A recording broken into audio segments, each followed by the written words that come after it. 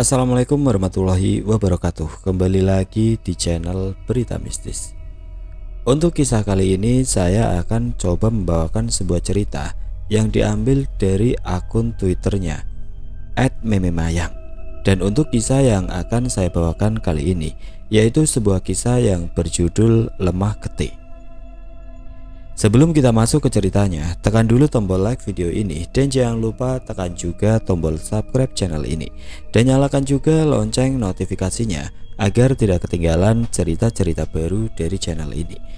Dan bagi teman-teman yang ingin membaca langsung ceritanya, nanti silahkan saja kunjungi linknya yang nanti akan saya sertakan di kolom deskripsi. Dan seperti apa untuk kisah kali ini? Langsung saja kita simak berikut ini.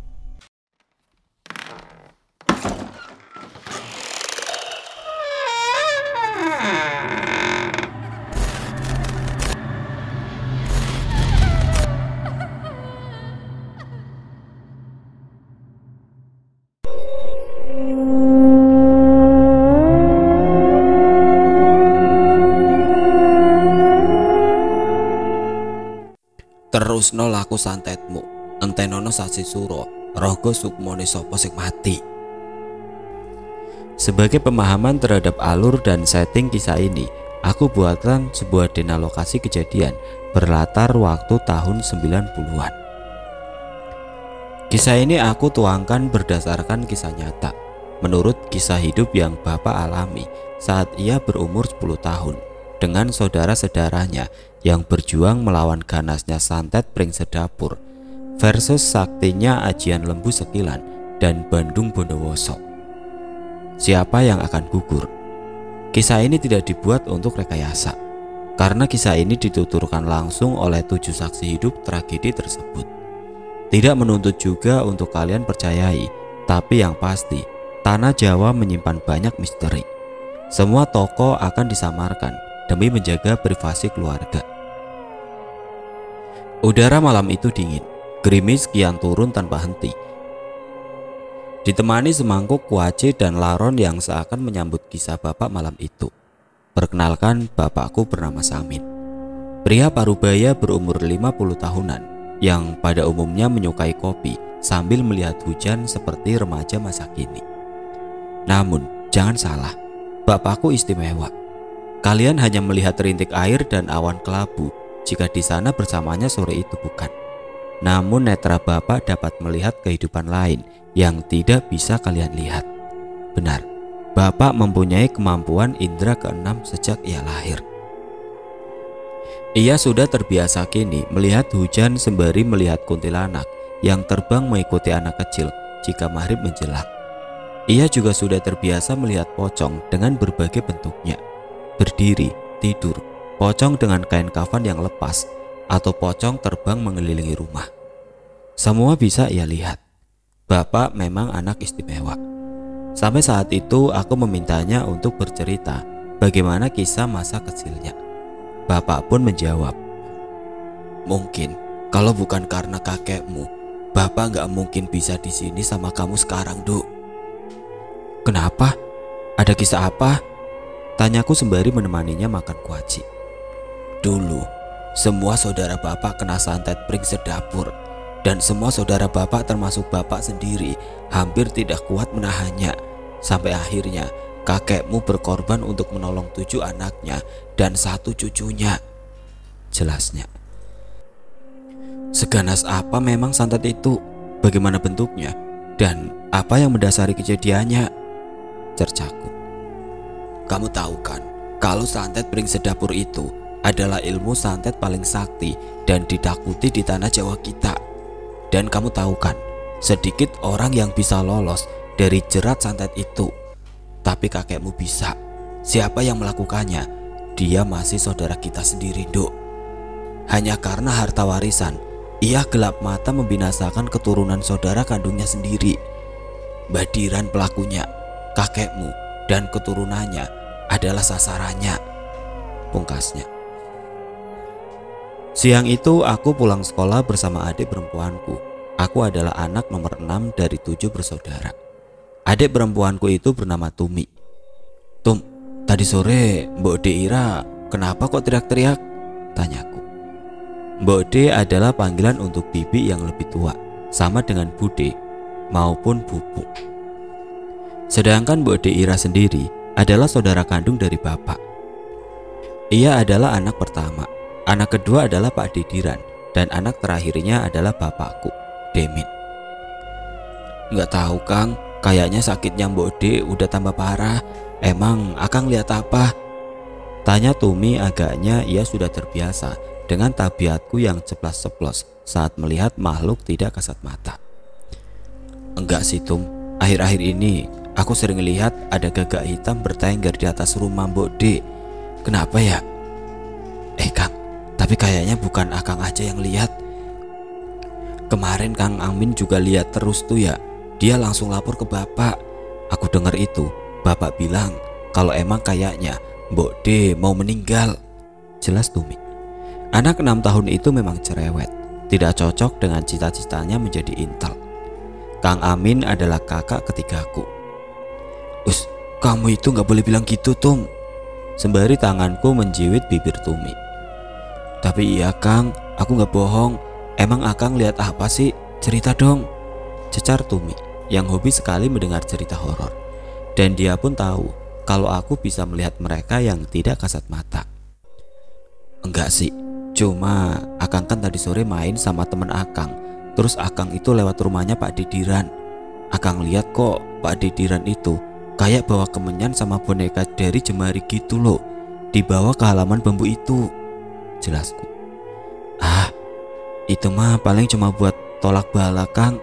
Kan biasa tuh, orang-orang sini masih pada percaya sama yang namanya sajen tiap malam Jumat Kliwon. Kata Tumi yang sepertinya dia tidak tahu maksud arah pembicaraanku tentang boneka jerami itu. Aku pun tidak mau juga untuk menjelaskan padanya karena sepertinya percuma. Mungkin, tapi Tum, tahu nggak?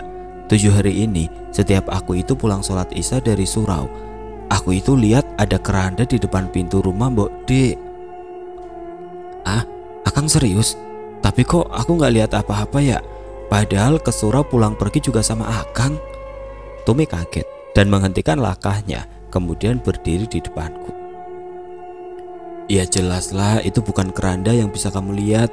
Terus juga tiap aku lewat rumah Mbok D, aku itu selalu nyium bunga melati tum. Padahal kamu tahu sendiri, di sini gak ada melati, adanya bambu, beringin, sama pisang. Belum selesai kalimatku, Tumi berlari meninggalkanku.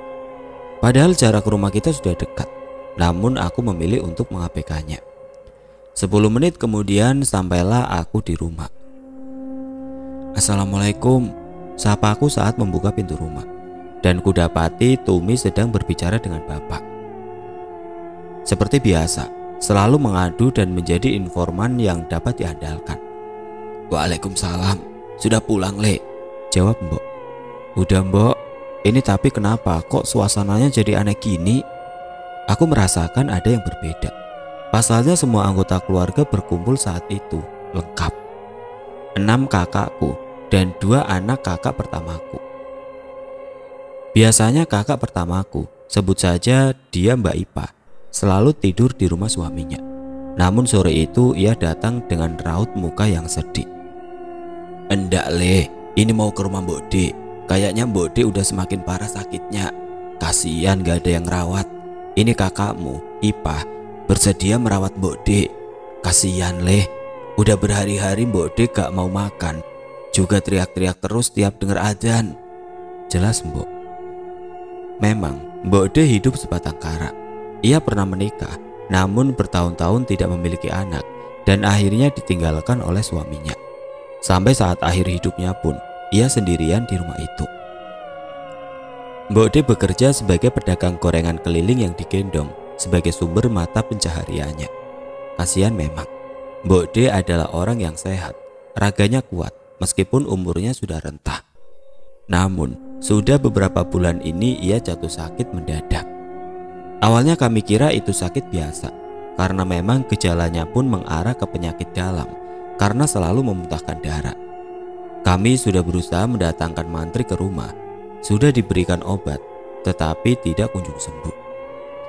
Karena saat itu memang terkendala jarak yang sangat jauh apabila harus pergi ke rumah mantri untuk berkali-kali.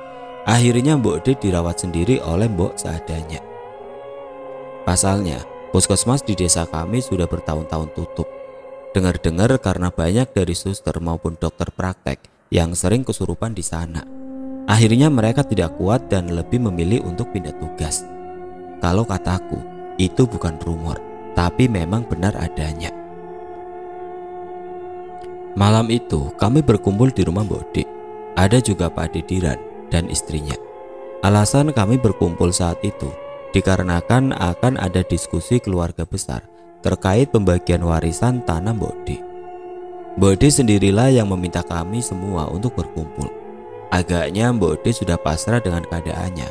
Agaknya Bodi sudah tahu bahwa ajalnya kini sudah semakin di depan mata. Namun saat kami berkumpul, Aku sedikit melirik ke arah Pak Didiran. Karena jujur ada perasaan yang bertarung di dalam hati dan otakku. Meskipun saat itu aku masih kecil, tapi aku merasakan Pak Didiran mempunyai sebuah rencana besar pada kami. Terlihat dari sorot matanya yang selalu melihat ke arah Mbok D. Yang pasti aku lihat, Pak D yang duduk di samping pintu itu, kini tangannya sembari mencari-cari sesuatu di lantai beralaskan karpet anyam itu. Semakin aku ingin tahu, aku berniat untuk menggeser ke arah lebih dekat dengan Pak Ade. Namun Kang Amin yang ada di dekatku menahanku. Jangan ikut campur, larangnya. Aku pun menurut, tapi masih tetap mengamati dari kejauhan apa yang berusaha ia cari. Dan ketika tangan Pak Ade berhenti, semakin aku fokuskan mata bahwa Pak Ade mengambil sisa rambut jatuh Mbok Jelas itu rambut Mbok tidak hanya satu helai, tapi lumayan banyak, sehingga ia pelintir membentuk gumpalan. Mengapa aku yakin itu rambut Mbok D? Memang biasanya Mbok menyisir rambut kakak iparnya itu di depan pintu.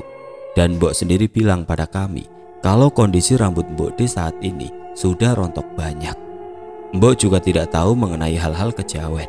Beda dengan bapak. Jadi ya Mbok melakukan tanpa berpikir ada yang salah. Aku saat itu memang masih kecil, masih awam dengan hal-hal keilmuan kanuragan atau kejawen. Yang pasti, aku hanya bisa melihat sesuatu tidak kasat mata, tidak lebih. Saat Pak Ade memasukkan gumpalan rambut itu, tiba-tiba aku melihat di belakang Pak Ade muncul asap berwarna hitam pekat. Asap itu terbang melalui pintu samping menuju rumahku. Kemudian lenyap. Kupikir saat itu itu hanyalah penampakan seperti yang biasa aku lihat. Namun aku salah. Itulah kail yang Pak D taruh untuk memanen hasil pancingannya. Gampangnya, panen nyawa. Sebagai informasi, menurut adat yang aku percayai, bahwasanya rambut adalah salah satu media paling efektif untuk menjadi media ilmu hitam. Pasalnya, rambut itu mengandung DNA korban yang akan jadi tujuan praktek ilmu hitam. DNA itu tidak mudah hilang, bahkan dalam waktu yang cukup lama. Salah satu cara agar ilmu hitam itu bekerja dengan efektif adalah dengan mendapatkan DNA si korban, selain nama lengkap dan tanggal lahir. Jadi hati-hatilah kalian apabila menyisir rambut. Perhatikan rambut-rambut yang jatuh. Alangkah baiknya kalian ambil dan buang di tempat yang sejuk. Karena kita tidak pernah tahu apabila ada tamu datang atau bahkan keluarga kita sendiri yang memiliki niat buruk. Setidaknya kita meminimalisir adanya peluang untuk hal negatif terjadi. Santet salah satunya. Namun, informasi itu aku ketahui saat tragedi ini telah usai. Bapak saat itu hanya memberikan alasan bahwasanya jangan menyisir sembarangan karena pamali. Hanya itu saja, dan kami pun menurut. Kembali di malam itu, setelah semua anggota besar kini berkumpul, Mbok Deira dengan sisa tenaganya berbicara pada Bapak dan Pak Didiran. Mereka berdua pun mendekat ke arah Mbok D yang sudah lemas tidak bisa mendudukan dirinya sendiri. Kang Diran, Demon, aku mau pesan sesuatu karena aku sudah tidak memiliki siapa pun. Anak pun aku tidak memiliki. Suamiku meninggalkanku seorang diri. Jika suatu saat, jika memang ajalku sudah dekat, aku mohon kalian yang akur mulailah berbicara satu sama lain kembali. Untuk tanahku ini, aku akan memberikannya pada Ipah. Sebagai balasan, dia sudah mau merawatku. Aku harap keputusan ini tidak memberatkan salah satu pihak di antara kalian. Terang Bodi. Di sini kalian menemukan satu fakta kembali bahwa ternyata Bapak dan Pak Dediran sudah tidak lagi mulai bertegur sapa. Entah apa alasannya, aku belum mengetahuinya saat itu. Iya mbak, gak usah mikir yang aneh-aneh. Aku gak mikir tentang tanahmu ini. Terserah kamu mau berikan ke siapa, itu hakmu. Aku cuma minta yang kuat ya mbak, yang ikhlas dengan siapa pun yang melakukan ini sama kamu. Sembari mata bapak melihat ke arah Pak D. Pak D diam. Aku pastikan saat itu Pak D Diran mengulas senyum tipis di wajah garangnya itu tanpa sepatah kata pun. Iya le, mbak sudah ikhlas. Lagian mbak hidup juga untuk siapa? Gak ada yang mengharapkan kehadiran mbak lagi di sini. Balas Mbok D dengan memegang tangan bapak. Sepertinya bapak tahu sesuatu. Ditambah lagi beberapa minggu setelah kondisi Mbok D semakin parah, bapak jarang pulang. Entah ke mana, saat kutanya Mbok, Mbok hanya menjawab bahwa bapak sedang bertapa. Sudah ada sekitar satu bulan lebih ia tidak pulang. Namun saat ia pulang, justru kondisi Mbok D semakin menurun. Begitupun Kang Amin, beberapa minggu ini ia selalu puasa. Entah puasa apa yang ia lakukan. Ia selalu berdiam diri di kamar, sholat tidak pernah keluar, dan sekali pergi keluar, kemudian berhari-hari juga tidak pulang. Jarak umurku dan Kang Amin saat itu memang terpaut cukup jauh. Kang Amin sudah berumur 20 tahun. Ia sudah tamat sekolah dan kesehariannya membantu kedua orang tuaku bekerja. Aku semakin bingung. Sebenarnya ada apa? Kang, lihat nggak? Bapak kenapa lihat ke arah Pak Ade kayak benci banget ya? Tanya Tumi. Emang kayaknya ada yang aneh sih ini Tum. Akang masih lihat ada keranda? Tanya Tumi lagi. Seketika aku memalingkan wajah ke arah luar pintu. Kini kudapati keranda itu sudah tidak ada di sana. Kok nggak ada ya? Padahal tadi ada. Aku pun heran. Tapi aku masih berpikir itu tidak ada arti apa pun. Aku kembali memfokuskan pandanganku untuk mengamati Pak Dediran dengan lekat. Saat mataku kembali memandang, Bapak dan Pak De bergerak menjauh dari Bodi. Rencana saat itu, kami ingin membacakan Yasin untuk Mbok Dik. Namun saat Pak Ade menggeser dirinya menjauhi Mbok Dik, aku melihat Pak Ade merapalkan sesuatu dengan mulut komat kamit membelakangi Mbok Dik. Dan seketika itu, Mbok Dik berteriak bahwa badannya panas. Aneh tapi nyata, tubuh Mbok Dik perlahan mulai menghitam. Diawali dari ujung kaki dan berhenti pas di dada Mbok Dik. Tepatnya dada sebelah kiri tepat di mana jantung manusia berada. Kami pun langsung membaca surat Yasin. Namun saat itu, justru Pak Dediran pamit untuk pulang dengan alibi bahwa ia lupa belum mengandangkan kambing peliharaannya. Karena semua fokus terarah ke kondisi Mbok D yang terus berteriak merasakan panas, kami pun mengabaikan Pak Dediran. Alih-alih mendebatnya atau memintanya untuk tetap di sini, membacakan Yasin untuk adik perempuan satu-satunya itu. Kami memilih untuk tidak memperdulikannya. Saat Pak Dediran meninggalkan rumah Mbok D, aku yang memang dari awal menaruh curiga terhadapnya, ikut meninggalkan acara Yasin itu dan lebih memilih untuk mengikuti Pak Dediran dengan mengedap-ngedap. 15 langkah sudah cukup membuatku keluar dari rumah Mbok D, keluar melalui pintu belakang, di mana tembus dengan pohon beringin tepat di depan mata. Malam itu memang gelap sekali. Bulan pun enggan menunjukkan kecantikannya malam itu. Dengan absennya sinar rembulan malam itu, membuat halaman belakang itu sangat gelap tanpa adanya pencahayaan satupun. Aku mengedap-ngedap bersembunyi di balik pohon beringin itu untuk memfokuskan mataku mengamati gerak-gerik Dediran yang justru pergi ke arah rumpun bambu. Saat itu aku masih waras. Aku tidak punya nyali apabila harus mengikutinya melangkah masuk ke rumpun bambu itu. Karena menurut mitos yang beredar di desaku, berpuluh-puluh tahun lalu, pernah ada seorang dukun santet meninggal saat bertapa di sana. Dukun itu bertapa untuk menarik wangsit pusaka yang katanya ditanam leluhur desaku. Namun, entah karena hal apa, justru ia ditemukan wafat dengan jasadnya sudah membusuk dimakan belatung. Dan setelah kejadian kematian dukun itu, ada juga rentetan kejadian aneh. Seperti anak-anak yang sering hilang entah ke mana setelah bermain di area rumpun bambu itu. Dan kemudian baru kembali lagi setelah beberapa minggu, namun dengan kondisi seperti orang kosong atau linglung. Mbok yang menceritakannya pada kami, sehingga cerita itu cukup membuat kami untuk tidak berani dekat-dekat dengan rumpun bambu itu. Namun, Pak D justru masuk ke sana malam-malam pula.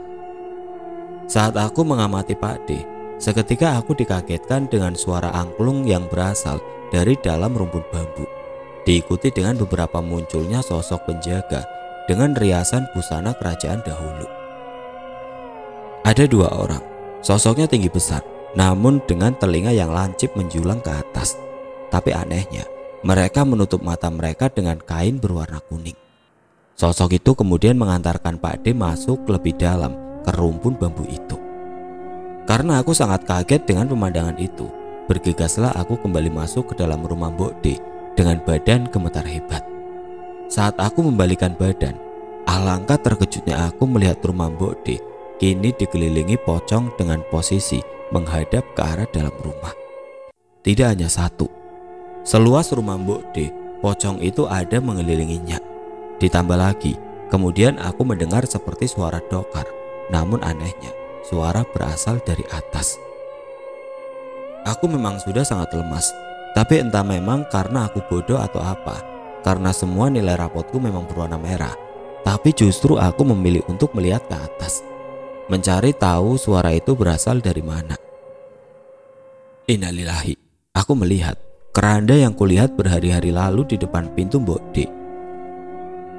Kini terbang di atas atap rumah Mbok. Tidak ada yang mengangkat. Keranda itu terbang mengitari dengan sendirinya, sembari menimbulkan suara tek-tek-tek akibat gesekannya dengan genteng Bode.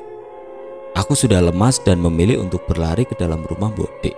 Dan benar, dengan melewati barisan pocong itu. Karena jujur aku lebih memilih jarak terdekat dan banyak orang meskipun harus melewati kengerian mendekati pocong itu.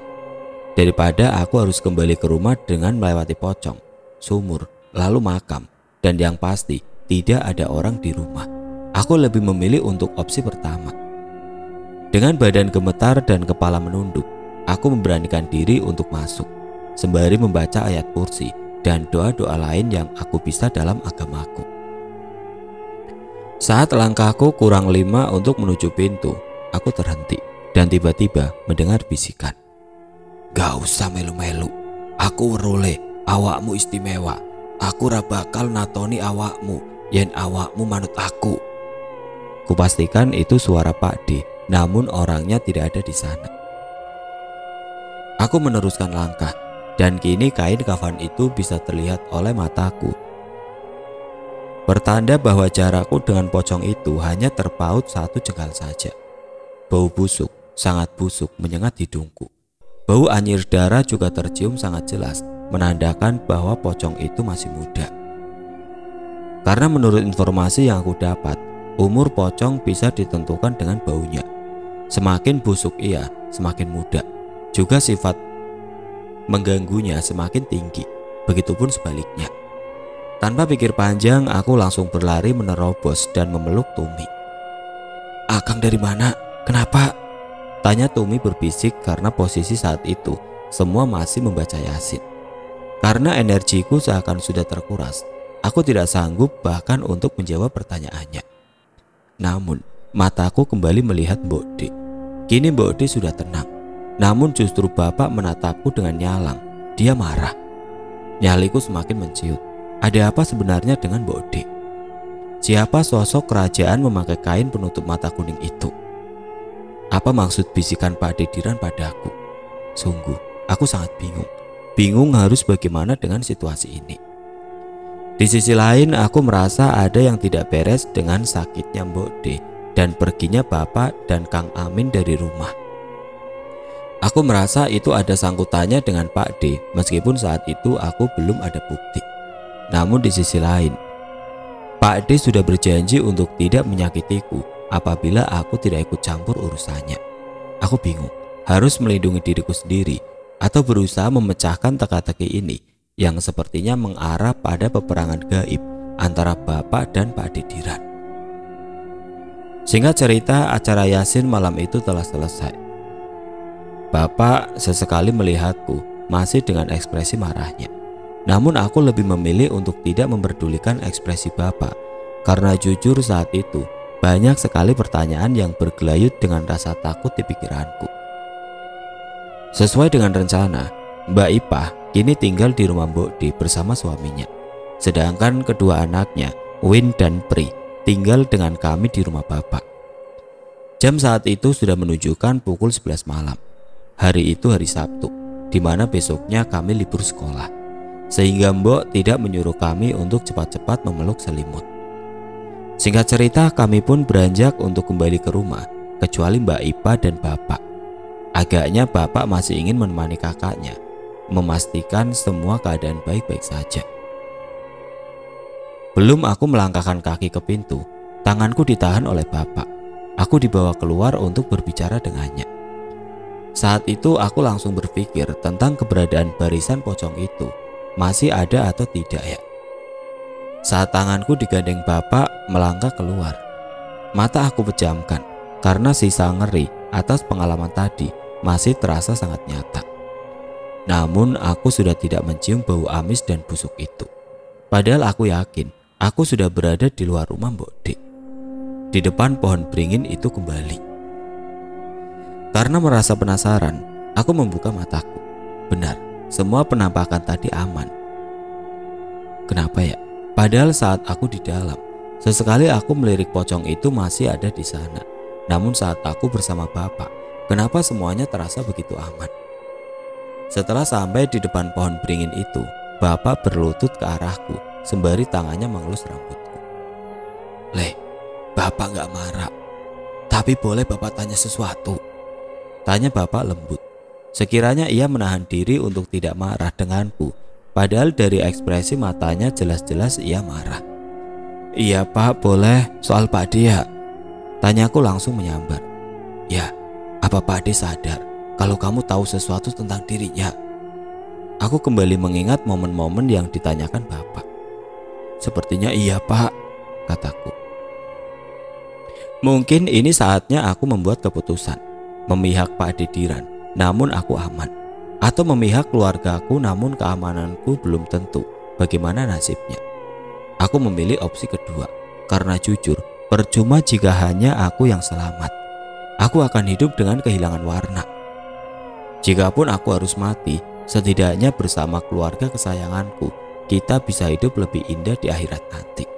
Jadi aku memutuskan untuk ikut campur dan bergabung dengan keluargaku untuk melawan niat jahat Pak Adik. Apa yang kamu lihat? Tanya Bapak. Setiap aku pulang main sore, aku selalu lewat rumah Pak Ade, Pak. Setiap lewat rumah Pak Ade, sesekali aku melihat Pak Ade membawa boneka, sepertinya dari jerami. Tapi kenapa warnanya hitam ya? Apa mungkin itu rambut, Pak? Aku masih belum yakin. Pak Ade membawanya ke arah belakang rumah. Aku tidak yakin, tapi sepertinya Pak D membawanya ke arah rumpun bambu itu. Sembari mataku mengarah ke rumpun bambu, tidak menunjuk dengan tangan. Karena menurut ajaran keluargaku, menunjuk ke tempat sakral dan angker dengan tangan itu adalah simbol ketidaksopanan terhadap keberadaan mereka. Dan itu bisa saja membuat mereka tersinggung dan kemudian mengganggu. Pak D seperti itu setiap sore Pak menjelang maghrib. Terus beberapa hari ini setiap sore aku pulang dari surau, aku selalu melihat ada keranda di depan pintu rumah Mbok D. Dan yang pasti, itu bukan keranda nyata pak, itu gaib, soalnya Tumi gak bisa lihat. Tapi pak, hari ini ada yang sedikit beda. Tadi waktu sebelum Yasin, Pak D mengumpulkan rambut Mbok D. Buat apa ya pak? Masa rambut Mbok D dipilin, dibuat boneka? Aku masih bingung pak. Kemudian tadi aku lihat Pak D juga Komat Kamit nggak tahu ngomong apa. Nah, setelah Pak Dik itu, Bodi tiba-tiba teriak tadi. Sambungku. Kenapa nggak cerita langsung ke bapak, Le? Lalu kamu tadi kenapa? Kok nggak ikut Yasin? Kamu ngikutin Pak Ade kan? Apa kamu lihat sesuatu di rumput bambu itu? Cecar bapak. Aku kemudian menekuk ludahku. Sangat traumatis jika harus aku menceritakannya kembali. Tapi bagaimanapun, sepertinya aku harus. Iya pak, aku tadi keluar buat ngikutin Pak D. Cuman aku nggak berani ngikutin Pak D ke bambu itu. Aku lihat Pak D masuk ke sana pak dengan membawa rambut Mbok D. Kemudian tiba-tiba aku dengar ada suara angklung diikuti dengan dua orang dengan pakaian kerajaan tapi ditutup kain kuning. Terus pas aku balik, aku lihat ada barisan pocong mengelilingi rumah Mbok D dan keranda terbang di atas. Kalimatku masih menggantung, namun kami kembali mendengar suara angklung itu.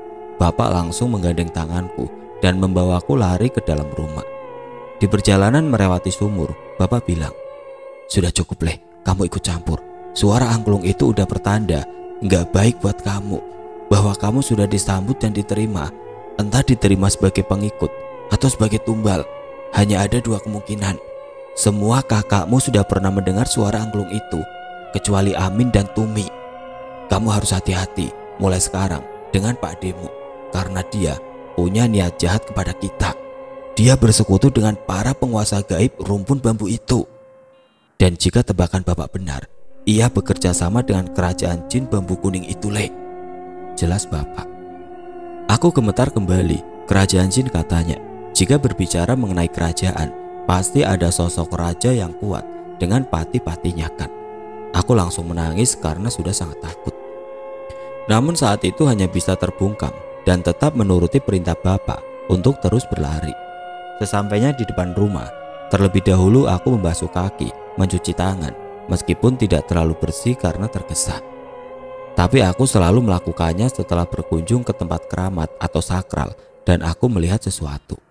Konon katanya, selain karena alasan kebersihan, ada alasan gaib apabila setelah dari tempat sakral dan keramat atau minimal setelah kita melihat penampakan di luar rumah. Jika kita tidak membersihkan diri terlebih dahulu sebelum masuk rumah, maka sosok itu akan menjadikan kita sebagai inang, menempel seperti parasit, dan mengikuti kita ke mana pun kita pergi. Itu salah satu etika dasar yang diajarkan Bapak kepadaku.